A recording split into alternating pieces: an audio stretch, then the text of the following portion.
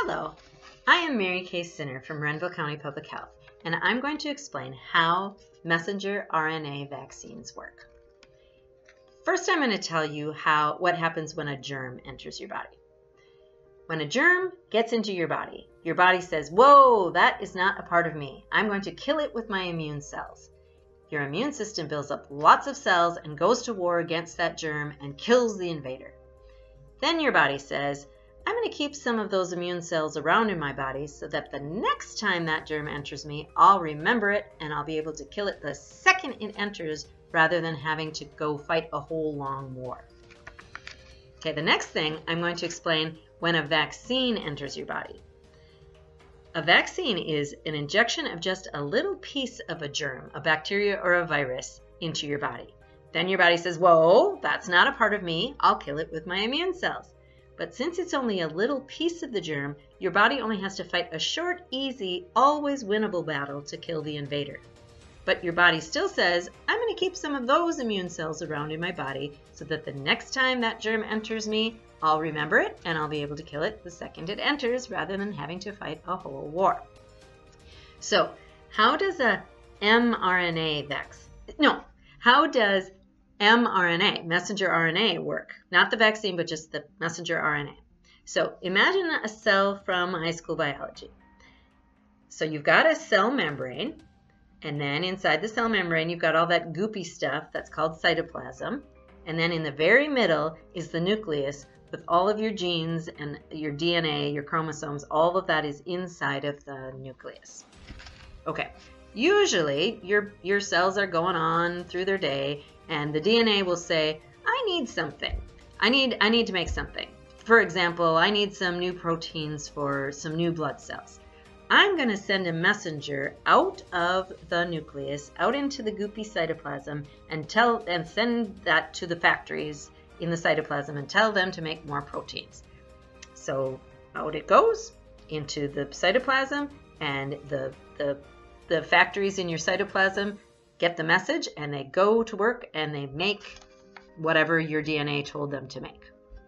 Okay, how does a messenger RNA vaccine work? In 2005, scientists figured out a much quicker way to make vaccines than the way that we've been making them for hundreds of years. And that is through messenger RNA vaccines. So they worked out this technology over 10 years ago and they've been waiting for this big chance to use this quicker technology. So when CoV-2 came along, the, the, the, vi the virus that causes COVID-19, they found that there is a spike protein on the surface of the virus that sticks into our cell membranes like a key and allows the virus to enter our cells. So when the scientists were trying to figure out how can we make a vaccine, they just took a little bit of the spike protein from the outside of the CoV-2 virus and figured out the genetic code for that. Then they created a, a piece of messenger RNA that matched that spike protein.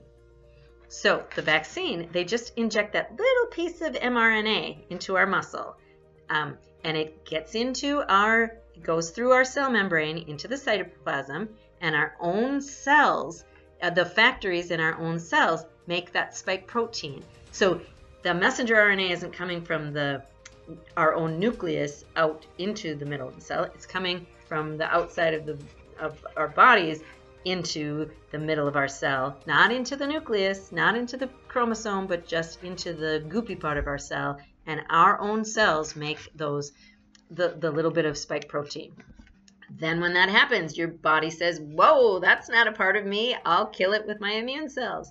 And since it's only a little piece of the germ, your body only has to fight a short, easy, always winnable battle to kill that invader. And your body, as usual, says, I'm going to keep some of those immune cells around in my body so that the next time the germ enters me, I'll remember it and I'll be able to kill it the minute it enters rather than having to fight a whole war. So, the important facts about this are the nucleus does, the vaccine does not go into the nucleus of our cells. It does not become a part of our genes or DNA. Another point, the messenger RNA vaccine is very fragile and it starts breaking down the second it enters our body. It doesn't hang around very long at all. It's so fr fragile that it has to be frozen or refrigerated and used very quickly before it breaks down. The, the, the vaccine is not a virus. It is only the, the instructions of how to make a little tiny pit, bit of the spike protein so it cannot reproduce, it is not infectious, and it is not um, long lasting.